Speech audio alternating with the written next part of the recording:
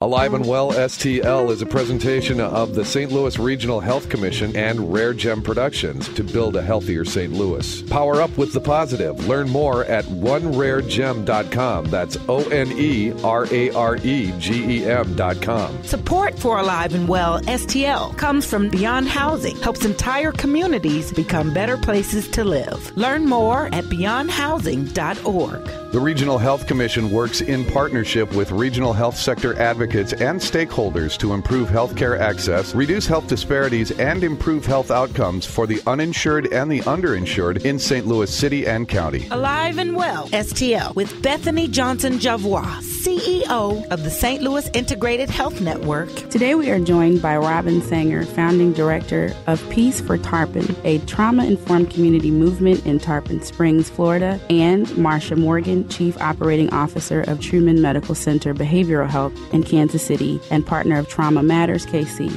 Everyone has a part to play in this, and that everyone must play a part in this because this cannot be from the top down. It can't be mandated by the federal government or by the states or whatever. This has to be done in an individual, person to person, heart to heart, soul to soul, community by community. This is how this work will be done to transform communities from the inside out. I'm really excited to be speaking with both who have been instrumental in transitioning to a trauma informed model, and I would assert perhaps been transformational in starting a movement. We'll be right back. Robin, the first thing I want to ask you in terms of your introduction to our community is tell me about your definition of alive and well. Alive and well in my community. Growing up, I moved around a lot, so I never really had a sense of place or a sense of hometown or that type of thing. So, with that as a starting point, Tarpon Springs is the first place I've ever really considered to be a hometown. So, to be alive and well here in Tarpon Springs means not only to have a sense of safety and security and connectedness, but also to understand that as a community we face common issues and together we can work towards common goals and common solutions. And understanding that we have the power and the privilege of doing that here in our community is what that means. Alive and Well, STL. Hello, and thank you for joining us today. I am Bethany Johnson Javois, CEO of the St. Louis Integrated Health Network and host of Alive and Well STL, sponsored by the St. Louis Regional Health Commission. Today, we are joined by Robin Saenger, founding director of Peace4Tarpon, a trauma informed community movement in Tarpon Springs, Florida, and Marsha Morgan, chief operating officer of Truman Medical Center Behavioral Health in Kansas City and partner of Trauma Matters KC, a trauma informed care model. Thank you both for joining us. Thank you for having us. As we talk and think about what it means for our community, particularly now in St. Louis, to be alive and well, I'm really excited to be speaking with both of you who have been instrumental in each of your communities in transitioning to a trauma informed model. And I would assert perhaps that you have been transformational in starting a movement down there. So let's see what happens. So, Robin, I'm going to direct my first question to you. Can you give us your definition of a trauma informed community? Literally, what would it look like? Well, a trauma informed community would be a place where folks understand initially that there's reasons behind behaviors, things do not happen at random, and that they understand that most of the issues, if not all of the issues that we face as a community and in our lives, are directly related to trauma. And have that understanding that it's not about random acts of violence or it's not about you know, things just happening out of the blue for no reason, but there are reasons behind that, which directly those roads lead to trauma. I've experienced that, that they lead to trauma every time. And as a community, if we have that awareness and that understanding, and all of our community assets have that awareness and understanding, we start to react and respond differently to situations in our lives and in our community. And I think that initial response is what we're going to see first. Of course, different systems are implementing specific programs to encourage this. As our 23,000 people if they have the understanding that to create true community change, we have to recognize the true cause the root cause of what we're looking at and not address symptoms, but address the cause. Marsha, what is your definition of having an alive and well community there in Kansas City? Well, one of the things that, in addition to the understanding that Robin talked about, the other thing that we've been working really, really hard on is recognizing secondary trauma and then building resilience. So the whole idea that everybody is involved, everybody has had some level of traumatic experience that colors their perspective, that rewires their brain at an individual level. Um, those are important things. And then recognizing, and for me, a healthy community is related to, okay, so all of that's happened, but what are we going to do about it? And that's where we talk about building resilience and recognizing some of the factors that then go into becoming healthy, whether it's, you know, some of the simple things like, you know, taking walks, healthy eating, you know, um, decreasing use of tobacco, but other things that people may think are more on the quote fringe, including things like meditation and mindfulness and yoga. Those are all things that help us build resilience. The foundation for resilience is always family and supports, whether family is defined by the person. So people who are supportive, people who care about you, people who love you, those are all pieces of having a healthy community from my perspective. So, Marsha, can you tell us about Trauma Matters KC, the work that you have seen and the changes you have seen in the care of patients since transitioning to a trauma informed model? Trauma Matters KC was formed almost three years ago, and it was based on an overwhelming recognition from a children's behavioral health needs assessment. And that needs assessment included families, kids, pediatricians, teachers, school nurses, mental health professionals, and sort of the overarching issue that people wanted to see addressed was toxic stress and trauma. And so we started really just having monthly meetings, individuals, people representing organizations started coming together to meet. We've held a number of workshops, seminars, best practice. We've had one best practice training. We've got another one that's planning stage. We've also then provided and been working with the Missouri Department of Mental Health on a continuum of trauma responsiveness. So, Missouri Department of Mental Health has developed what is trauma awareness, what is trauma sensitivity, what is trauma responsiveness, and then what is trauma informed care. And we're working with organizations to assess where they are and then to take steps to become more trauma informed. And when you think about trauma, it's not about buying equipment and it's about investing in people's understanding of what happens to people and why they behave the way they do. So it's an investment in perspective, it's an investment in attitude. So Trauma Matters now has probably more than 35 organizations, more than 125 people who are committed to informing their various networks about what trauma is and why trauma matters. And that's kind of how we came up with our name.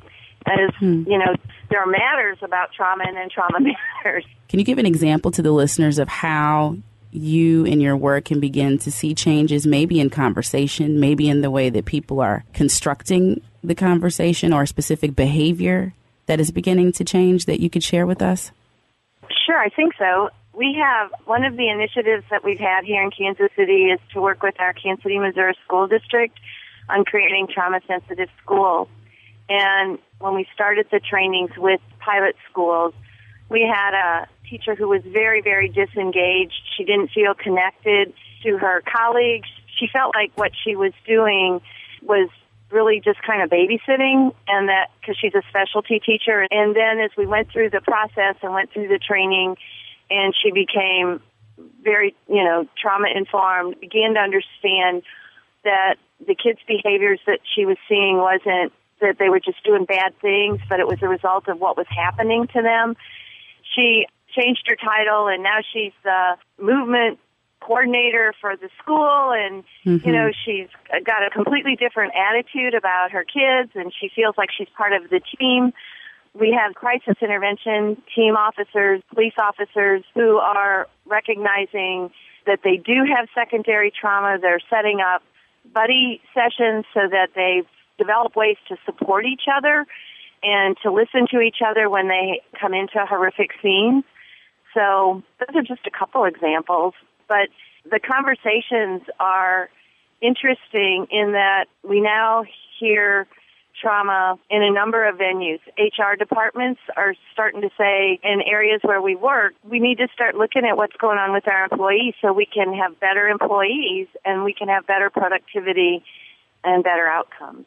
So those conversations have started. I think Robin's probably further down the road than we are. We've used Tarpon Springs as a model. And Robin, how do you view your role and purpose of connectedness and community? Well, I've always seemed to be a connector of sorts, and that's a role that comes very naturally to me.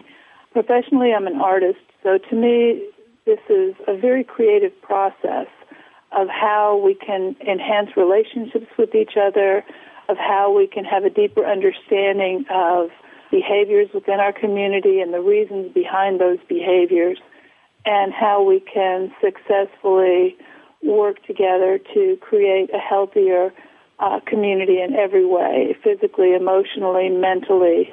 And I think that by connecting each other, that's how that begins to happen when we realize that we have so much in common, that we have we're so much more alike than we are different. Mm-hmm. So as an artist, what additional gifts do you think that that lens brings to the table as you go about leading the work of building a trauma informed community there in Tarpon Springs? Well, the work of becoming a trauma informed and also a trauma responsive community is a very long term project. So you could really look at it as kind of a, when I do an art project where you know that something is possible, you know that someday it will exist, you may not see it at the moment, but you have the confidence and you have the wherewithal to know that things will fall into place as they need to, and eventually you can get to where your goal is. But the process itself is definitely not a straight line. It's not a, you know, here to there because there are so many different facets. It's a very, very complex problem. But uh, I wouldn't say problem, I would say challenge. But the confidence that we will get there whether it takes generations or whether, you know, however long it takes, is, I think, at the basis of that. I'm comfortable not having an immediate solution, knowing that there are many, many steps to this creative process. Could you talk to us a bit about the facets or what is beginning to come together for your community in terms of building a trauma responsive community? And within that answer, talk a bit about your definition of that based on the work that you're doing. Well, we consider every single person in our community part of the solution. Our motto is offer the peace, P E A C E dash P I E C E, you can. And we know that every single individual has a unique gift to offer to help bring about this trauma informed, trauma responsive community. So initially, I looked at it through rather a rather narrow lens, thinking that service providers and different agencies and the city itself would be kind of like the juice behind this. But as Peace4Tarpon grows, what's really becoming very evident is that people who work for agencies may be here today, they may be gone tomorrow. They're at the table because that's where their passion is, more than likely, but also because it's their job. So it's a little bit different take uh, if someone comes to the table because they are there because this is their community, this is what they're invested in, and they're coming with all of their heart to the table. So it's a little bit different energy, but I find that that is really what is required in creating a trauma informed and trauma responsive community is it's not about the big fish, if you will. It's about mm-hmm. every single one of the individuals who live here who can recognize the causes and consequences of trauma in their own lives and the lives of their families and coworkers and have first of all that deeper understanding of what that means. And next to be able to understand trauma is resolvable that we as a community and as individuals can work together to create very effective change. So Marsha what is your hope for the future for kansas city based on the work that you're doing today? What does the future look like there? Oh my gosh. Well my hope is that every business, every organization, every system recognizes the impact of trauma and that across the board we start the conversations when we have things happening that we talk about what's happening to you that brought you to this place. And, you know, so our, that our city becomes healthier. We have a Chamber of Commerce initiative on Healthy KC. And, you know, when we take a look at obesity, we take a look at chronic diseases, we take a look at tobacco use. Because of the adverse childhood experience study, we can trace a lot of those issues back to childhood trauma. My dream two generations from now would be that we've eliminated child abuse. I don't, you know, that's a stretch, but it could happen. And absolutely Once can. we understand what's going on with people and why they do what they do, it could happen. And we need to have those audacious goals and dreams, I think, in order to get there. Robin, did you experience there a Sentinel event that created movement around building this, or was it just more of an organic process developed over time? What was kind of the root cause for the building of this movement? Well, we call that the Peace4Tarpon. We call that one the nickel drops. When you get it, you understand. You have your first eyes open towards what trauma is and what that means. And for me, the nickel dropped. I was an elected official here in town, and because of that, I was able to serve on different boards and different agencies. So I was, for example, on the Homeless Leadership Board. Was able to go to different programs. One was a, a creative program with incarcerated women, and and I noticed that although there were so many different people and agencies and doing work to address these very, very complex, very huge issues that we face as a community, that the numbers seem to be going up. The numbers of homelessness were rising, incidents of domestic violence did not certainly were not decreasing. Uh, sexual abuse of children, all of these things just seem to be static or increasing. So it came to me to my mind that we must be missing something, that there must be something we were not really looking at, or we would be having more effective results. And that's when I learned about trauma, and my eyes were opened to that. And from that day forward, that's the lens that I viewed the world through. And I think that's a, common experience with people who get involved in this trauma informed world is that once they understand that whether it's a thorny relationship within their family or a coworker or whatever, you're looking at a trauma history. That trauma is nearly universal. So chances are everyone you encounter will have some sort of a trauma history. And to have that understanding at, at the basis of interaction really creates a completely different process of working with people, living with people. And I think that this is the only way really to create a peaceful community is to understand the root causes mm-hmm. of the issues that we're facing. So I've got one more question specifically for you, Marsha, which is, you know, Kansas City is not far from St. Louis. We're both in Missouri. You've got assets and even some of the names that you're mentioning, like crisis intervention teams. We have that resource here in St. Louis as well. There's just a lot that we have learned from each other as cities and communities, and there's more work to be done in that area in terms of learning. So, given that St. Louis has been ground zero for change, uh, given all that's happening here locally and happening nationally, what hope can you provide to our community given the place that we're at right now based on the work that you've done? Do you have any advice for us as we continue on this road of important work that we know um, could impact generations to come when we do this right? I think it starts with exactly what you're doing. It's having the conversation and having it in a way that we don't blame each other and that we really just sit down and talk about so what's happening and can we understand, you know, what's going on behind the behavior? You know, what I've learned so much over the last four years about historical trauma and what happens, you know, in our bodies, the epigenetics, and once we begin to really, really understand what's going on with us and inside of us, then finding the ways to heal and some of them will seem pretty far out. So it's having conversations, but it's also, you know, if we focus on healing and we focus on, you know, how to be better together, then I think there's hope. You know, the I know the events in St. Louis have been traumatic, horrible, you know, whatever word, but they also can be transformative because you can be so much better we all can be better. We are learning in Kansas City from you guys, from what hmm. you've gone through. We're learning. We're having dialogue that we might not have had but for you all. So, you know, share, learn, talk. So those are some of my human thoughts. I want to thank you for sharing your human thoughts and your perspective, your wisdom, and kudos to Kansas City for so much great work that's happening there. Guys, I'm with you there. It's like, why reinvent the wheel? We have so many great things happening in this world. Yeah, we got to share that too because those are gifts that I think are for all humanity. So you said something that struck me that I wanted to make sure I had a better understanding of, and maybe our listeners do too, which is trauma informed community, trauma responsive community. Can you tie those two concepts together so that I can better understand maybe how they're connected and, and how they're distinguished? Sure. Well, to me, a trauma informed community is a community that understands the connections between behaviors and trauma, very basically, between challenges within a city or a neighborhood or a family and trauma, and becoming aware of how to properly react, respond, interact through that lens. A trauma responsive community to me is the next step because, you know, we were thinking, well, so if everybody in our city is trauma informed and they all know this, mm-hmm.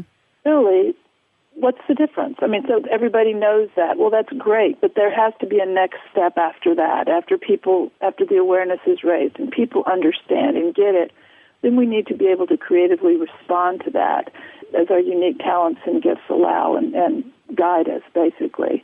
So whether it's a, a pastor of a church who's quite often a first responder for members of his congregation or her congregation, or a rabbi, whatever type of faith-based person that, that might be, or it could be a mom who might be a neighborhood spark plug, who might be the leader within a community, and to have services available to help people process trauma, to understand that beyond trauma there's resilience, there's healing, there's hope, that human beings are tremendously resilient. That because someone might have a very, very high adverse experience score is not doom and gloom. That there are always, always chances for healing. And if we can do this as a community, the chances are much, much greater. So trauma responsive community is to have our schools, the different agencies and, and the police department and fire rescue and city government to all being able to offer solutions to address trauma. Right, to be prepared to know what to do and not be reactive but proactive because the baseline understanding is common. That's very um, well said. That's exactly right. So, with that, before we close, is there anything else you want to share? Just know that the resources are there and there's a movement. The whole trauma informed community is that people are willing to reach out and help each other. We're finding answers in all kinds of funny places, and so just ask we just need to ask each other. We need to learn from each other. And thank you so much for what you've done and the work you continue to do. I hope to meet you personally someplace soon in short order. It would be fun. Thank you so much. Absolutely. Robin, can you share with us the way that you frame success and give us an example of what success looks like in terms of this work? Well, in our work, there's a, a saying that I love by a woman named Lilla Watson, and it goes something. Uh, pretty close to this. She says, if you have come here to help me, you're wasting your time. But if you are here because your liberation is bound up with mine, then let us work together. And Amen. I think that, that, that is a very pivotal point. Rather than assume what people need, we begin by asking people. So when we worked, for example, with one of our elementary schools, we asked the principal, what do you need at the school? You know, what would be helpful to you? What are your challenges? How can we help create better connections between families and schools. And some of the things that she needed were not necessarily trauma education for all the teachers and janitors and cafeteria workers and staff and so forth, but things like um, it's a uniform school, so some of the kids didn't have uniforms, and so they wouldn't come to school because they didn't have a uniform. So we supplied a very, very robust uniform bank for the school so that that would not be a, an issue for any parent. We provided tutors and mentors.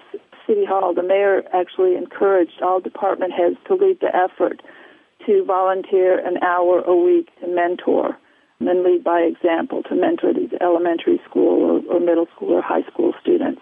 So success is, I mean, the world seems to be very data driven. Mm-hmm.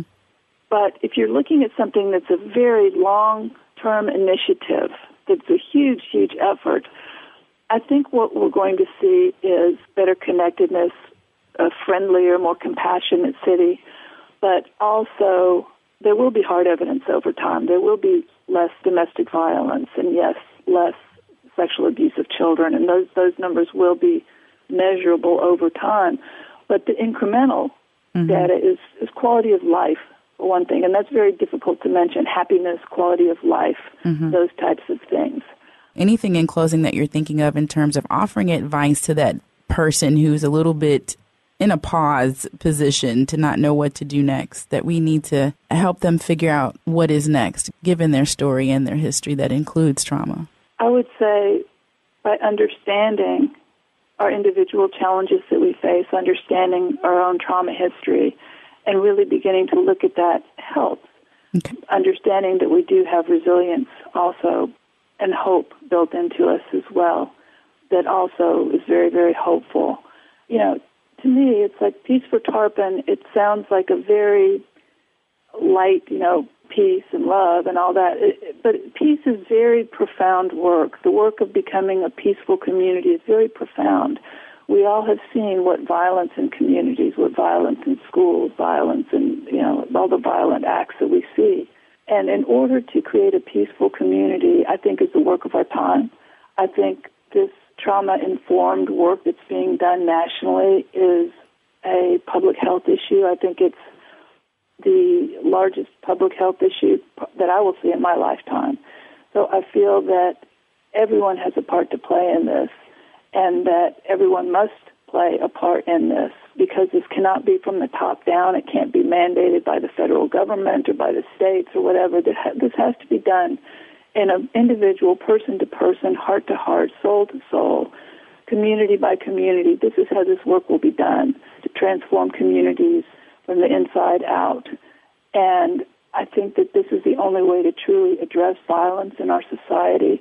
It's not an easy fix, but I, I see this as, as a true solution to what we're in the middle of, what we're in the midst of as a nation. I want to thank you for your reflection and for your time with us, for the things that we will learn together. I'm hoping that this is just the beginning of a relationship that gets well established and becomes organic and grows because we need it. We need all the assets and resources that we can get. So thank you for joining this morning. It's been my pleasure. Thank you so much. Absolutely.